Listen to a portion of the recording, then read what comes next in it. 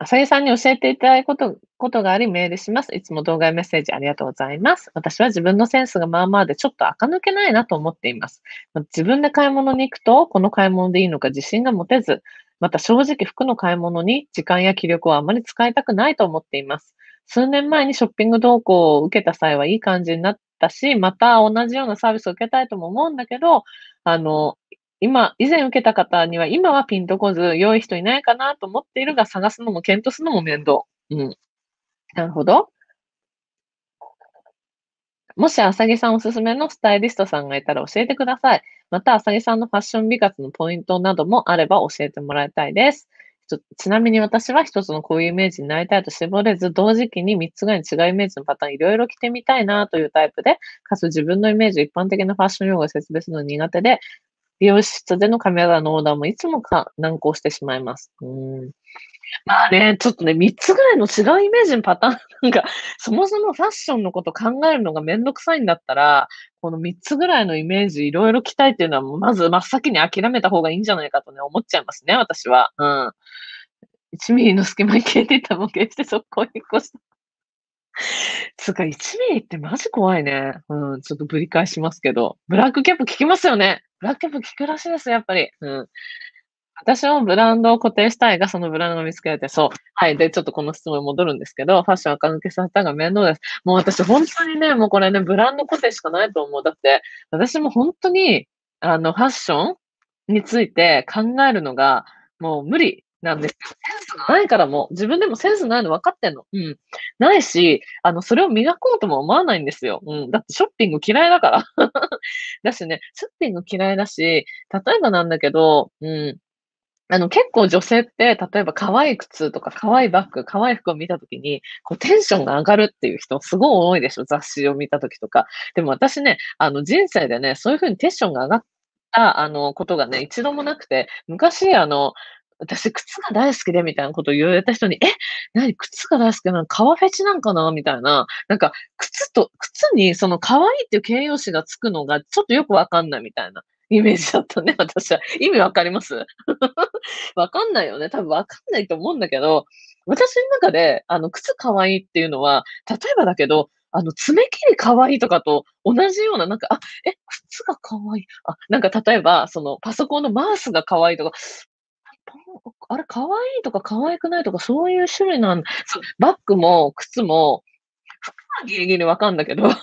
あの、バッグも靴もね、可愛い可愛くないの違いっていうのがちょっとよくわからないっていうぐらい、ほんとにファッションに興味がなくて、センスもないんですよ、マジで。うん。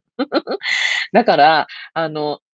一応ね、でもとはいえ、特にあの、ちょっと前はね、あの、人前に出る今はまあオンラインの女になってますけど、あの3年ぐらい前まではみんなのなんか、月に何回も何回も講座をしてっていうことをあのやってたので、その時はやっぱり、その毎回同じ服っていうわけにもいかないし、それなりにおしゃれな服を毎回見繕って言ってみたいなことやってたけども、それがもう本当にしんどくて、うん、爪切りかそう、パソコンのは、そうそう、そんぐらいのね、ちょっとよくわかんなさがあったんですよ。うん。で、で、その時、でもどうやってショッピングしてたかっていうと、もう私はブランドを固定して、もうバイマっていうね、あの、私結構海外の服を着ることが多いんだけど、うん、その、バイマでね、あの、今だったらモスキーノ、モスキーノって検索して、もう上から順番にポチポチポチってしてって、1ヶ月に最低3枚買うとかいうノルマを決めて、その3枚を10分ぐらいで、ああ、じゃあこれとね、これとね、もうサイズあるやつ、上からこれとこれとこれ、みたいな、オッケーオッケーぐらいの感じの、あの、レベルで買い物しかしてないんだけど、もう私もう本当これで十分です、もう本当に私は。そう。ワンピースって便利ですよね。服着のめんどくさい時に着るのワンピース一着ひたすら着ました。そう。なんか私はね、コーデ、コーディネートというものが一切できないので、あの、私服はもうね、あの、ジャージ、ジャージっていうか何？トレーニングウェア？ヨガウェア？ランニングウェア？と、ヨガウェアっていうの？ああいうのばっか着てる 一切、一切ランニングもヨガもしてないのに、あの、トレーニングウェアを毎日着てて、で、出かけるときは、もうワンピしか着てないっていう、コーディネートができないのね。組み合わせみたいなね。うん。ネットでファッション見まくるか、Facebook でめっちゃ高校出て、つい見入っちゃう。あすごいね、ほんと。うん、ほんとね、ほんとシューズさんに申し訳ないんですけど、うん、すいません。そう。上から順番にね。ファッションレンタルサイトね、あの、勝手に送られてくるやつでしょ？まあ、あれもいいんじゃないですかね、ファッションレンタルサイトもね。私はちょっと好みに合わないんだけど、うん、ポチポチ10分やる派の私ね、今年の夏は安否をセーフ化したり、リソース使うってめちゃくちゃいや、ほんとそれで、私はね、ファッションレンタルサイトもありだと思うんだけど、私はそれよりも、あの、制服化をお勧めしてんのよ、制服化をね。うん。で、あのね、このね、ブランド固定して同じ服を着るっていうのはね、あの、一見、一見っていうか、まあ一番の理由は私が怠惰だからっていうのは一個あるんですけど、でももう一個、それ以上にめちゃめちゃ深い理由があってこうしてるのは、なぜかというと、あの、こブランディングというかね、あの、人の見た目っていうか、この人ってどういう人なんだろう明るい人なのかなそれともおとなしい人なのかなそれとも優しい人なのかな気が強い人なのかなとかね。そういう、あの、見た印象ってね、絶対服で8割9割決まってんの、マジで。服と髪型とメイクで、もうほぼほぼ決まっちゃってるから。だって、例えば私がこのね、あの、ピンクの髪でよ、ゴールドのね、このロゴ入りのね、これでね、なんか、ああ、どうも、はじめまして、小田切あさぎですとか言った時に、え、この人絶対超おとなしい人ってだ、多分誰も思わないじゃん。うわ、なんか、なんかやばそうなやつ来たとしか思わないし、私実際やばい人じゃないですか。うん。だからね、そういう、この自分の内面がね、どういう人かっていうことを見た目で、あの、裏切らないってすごい大事だと思っていて、うん。例えばね、あの、昔、私そんな、婚活とかを頑張った時は、すごい中身も今大して変わんない、結構こんな感じなのに、なんかすごい、こう、ピンクのね、あの、わかる？あの、なんだっけ、アンサンブルとか着て、あの、すごいこう、おとなしそうな、なんか、おとなしそうな服着てたんだよね。で、そうするとやっぱりね、すごい受けが悪いわけよ。で、出会い系アプリとかでやると、そういうおとなしい女子なのかなと思って来て、あれみたいな、なんか下品だぞみたいな感じになるわけよ、中身が。うん。ヨガ目を着るスタイル感銘受けど真似させていただいております。よかった。うん。そう。うん。そう。やばい人と思われるブランディングはもうすごい有効で そう、やばき人ね。うん。したらもうなんか、さ最初、あの、すごい低いとこから入ったら、あと上がるしかないから、あ、意外にいい人なんだとか、なんかちょっとニコニコしただけで、あ、意外になんか、あの、気さくな人なんだとか言って思われますから、ほんとに。うん。私も買わなくても店もネット見てるけど何時間も潰すさが人によっていろいろなんですね。いや、本当にそうなのよ。だからね、本当に、あの、ファッション好きな方たちはね、あの、本当にそれ才能だから、まず気づいてほしい。うん、本当に。うん。ね、制服が本当にいいよね。うん。そう。で、えっ、と、でね、私ね、ある時に気づいたのが、昔、おしゃれな人ってどういう人かっていう、おしゃれな人の代名詞って、いろんな服を持ってる人だったと思うのね。うん。だってさ、例えばジャイアン、ジャイアンじゃない、ジャイアンに限りドラえもんにしろ、サザエさんにしろ、マルちゃんにしろさ、あの、みんな毎日同じ服着てるじゃない？うん。で、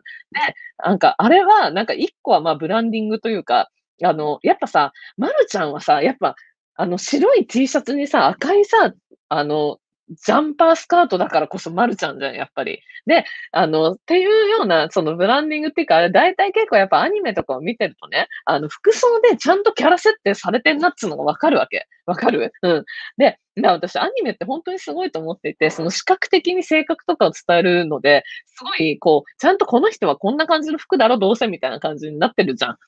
ていうのを、あの、実、実際のね、あの、リアルでも、あの、採用した方がいいんじゃないかなっていうふうにも思うし、あとみんな毎日同じ服着てるじゃないですか。で、あれって、私たちが小学生とかの時に、なんか、のび太とかは、なんかクローゼットに同じ服が10か、なんか10枚ぐらい並んでんのか、それとも選択してないのかみたいな、ちょっと物議をね、一瞬醸し出したことがあったと思うわけ、小学生の時とかに。でも、あれは私は今思うにね、あの、あれってすごい昭和初期の話じゃないですか、結局ね。昭和初期なんかな？昭和中期なんかわかんないけど、昭和っ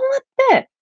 多分そんなに誰も服のバラエティを持ってない時代だったのよ。うん。普通にみんな、あの子供でもせいぜい2、3着を着回すっていうのが当たり前で、だからこそ、あの、たくさんいろんな種類の服を持ってる人っていうのはおしゃれっていう風に扱われたわけ。でもだんだん、なんか服は、こう、あの、どんどんどんどんこう安くなって、日本人もどんどん豊かになってって、で、今なんてさ、あの、普通の、例えば、あの、フリーター、フリーターとか OL さんとかわかんないけど、普通の人でも何十着も服持ってるの当たり前じゃないですか。だから、なんか、なんかね、もう、最初はいっぱい服持ってんのがおしゃれだったんだけど、今はいっぱい服持ってても別におしゃれにならないなと思って、うん。そう、そう、イケメンはイケメンファッションだしね、オタクオタクファッションな漫画は。そう。たまちゃんね、まるちゃんのね、友親友のたまちゃんね、あの、ラボのたまちゃんじゃなくてね。そう、サザエさん、あの金玉さん、プラスブランディングすげえ。そう。だから、あの、そういうことを考えると、逆にこれからの時代はね、もうみんないろんな服を持ってんのが当たり前なんだったら、逆に、あの、一着に絞って、毎回同じ服を着てるっていうのが、これからの時代のブランディングだと思うんですよ。どうせみんな別に服なんて何着でも買えるところが、あえて、あの、自分が一番気に入った一着だけ着てるっていうのが、それこそ、あの、スティーブ・ジョブズだったり、うん、あとあの、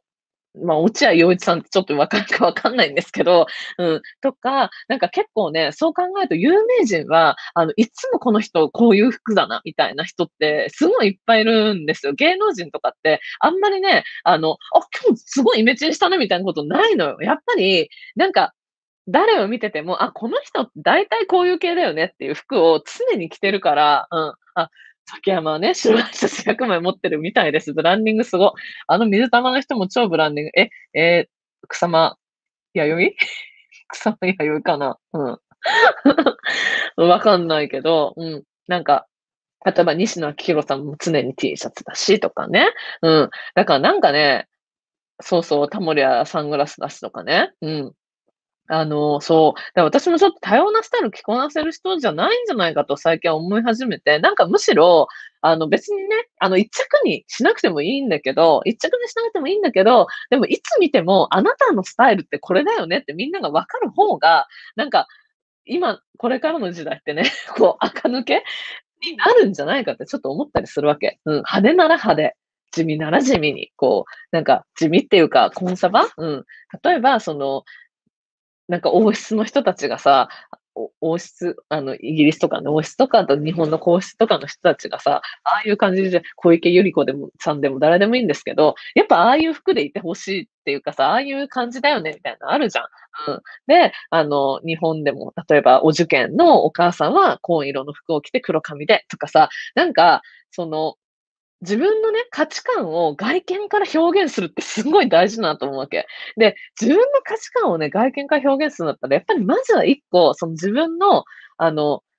こうなんか思想を反映したブランドを決めるっていうのがすごいいいんじゃないかと思って、ここシャネルっぽいトレンドじゃんってスタイルだって言って自分は黒を主に着ていたとか、そうそう、自分スタイルを極めて、本当にあの服装って、あの、すごく自分スタイルがめちゃめちゃ伝わりやすいものだから、うん、そう。です。うん。私はね、もうちょっと人が見て、え、なんかすごいねって 思われるような服が結構好きだから、あの、モスキンの中でも、それちょっと、ちょっとなんか、なんかでかい顔が入ってるやつとかね、ロゴは金とかね、そういうのを、あの、あえて選ぶようにしてますけれども、うん。ちょうど服を制した方自分らしいの残す。めちゃくちゃ参考になります。あ、嬉しい。自分の価値観を外見から表現する好きな言葉。そう。うん。ちょっとそういう感じで、なんだろうな、こう、自分らしさみたいな、うんうん。自分がなん、どんな風に見られたいのか人に、あの、上品な人に見られたいのか、こう、下品な人に見られたいっていう人は少ないかもしれないですけど、まあ、私なんですけど、うん、見られたいのかとか、なんかこう、派手に見られたいのか、地味に見られたいのかとかね、うん、そういうのを、こう、一個一個、あの、かっちりして見られたいのか、カジュアルに見られたいのかとかね、うん、そういうふうに、あの、考えていくのがいいんじゃないかなと。うん。そうなると服に興味がない人がやりやすいですね。そうなんかね。まあだから服に興味ない人は本当に 自分が着たいものを着てもらえたらね、いいんじゃないかなと。せっかくね、そこにセンスがあるんだったらね、いろいろ試してね、あの、それでコーディネートを楽しめる 人はコーディネートを 楽しんだ方が多分人生豊かだとは思いますんで、うん。そういう風にしてもらったらね、多分いいんだ、いいんじゃないかなと、うん、思いますけどね。でもなんか、うん。あの、系統っていうか、うん。まあでもね、確かにファッション好きな人だったらね、いろんな、こう、TPO に合わせて、みたいなのもね、あの、うちのずっと、あの、秘書というか、してくださってる香織さんもすごいそういうのになんかもう、お店の色の内装に合わせて服を決める、みたいなね。で、それと、靴とバッグも必ず別のものをコーディネートして、みたいな、なんか旅行にも靴を5足とか持ってくるようなおしゃれさんなんですけどね。うん。まあ、そういうのはね、本当にすごいと思う。うん。すごいと思うです。うん。でもこの、今日のね、あの服、どうしたらいいかわかんないです、みたいな、面倒です、みたいな人は、私みたいなやり方もおすすめだよっていうね。うん。そう。好きですが、安いもたくさんあるより、ほんとに好きな服何着か着る方が幸福高いです。そう、そうなんだよね。うん。そう、で、なんかなんかあの、なんだっけ、あの、なんレンタル？レンタルサービスはなんかすごい無難な服しかなかったんで、ちょっと私は自分には合わないかなと思って、あの、一見一緒に見たんだけど、ちょっとやめちゃいました。うん。そうね。うん。結構これすごい大事だよね。あの、絞る、ほんとに。大好きな、あの、超お気に入りの超高い5着だけにしよう。結構このファッションになんか、しっかり着てないっていう人に、私がよくアドバイスするのは、もうほんとに超憧れの服を1枚か2枚買っちゃいなよみたいな。なんか、すごい値段度外視だったら何がいい？ど、何が好き？みたいな、こう、グッチが好きなのか、なんか、わかんないけど、あの、シャネルが好きなのかね、とかね、あの、イヴ・サンローランが好きなのかとか、そういう1個決めて、もう1個それ買っちゃいなよ。で、それを毎回着たらいいじゃんみたいな。うん、それすごいおすすめよ。うん。ね、ま、他の人には、また同じ服って思われてもさ、別にいいじゃん、人にと思われようことね。イヴ・サンローランの人、もうかっこいいじゃないですか。うん。はい。